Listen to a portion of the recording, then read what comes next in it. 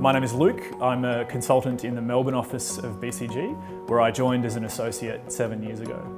I studied arts law at Melbourne University, where I focused primarily on uh, international law in my law degree. Outside of work, I like to chill out by catching up with mates, uh, riding my bike, playing squash, and going to the movies. The reason that I chose to pursue a career in consulting as opposed to the law was, was threefold.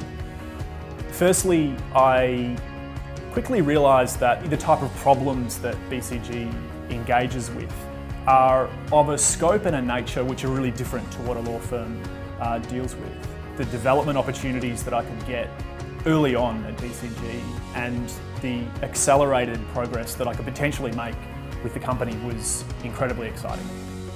Over the last seven years, I've had the good fortune of working in a, a wide variety of different industries with BCG, ranging from financial services to mining, uh, but also working in the public sector in, in Canberra and Melbourne, working for federal and state governments.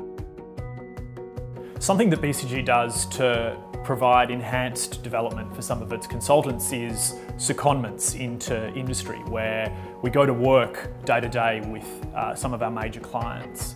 I'm working with an Australia Post team for the next six months and Australia Post is at the forefront to create new and exciting opportunities for its customers and its stakeholders.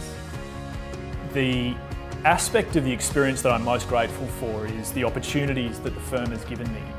I've studied a Master of Public Policy at Harvard University. I've worked in Cape York on the challenge of creating more jobs for Indigenous Australians. Uh, I've taken the skills that BCG gave me and advised Prime Ministers in Mongolia and Haiti. I've helped set up a mentoring program with disadvantaged students at a school in Victoria.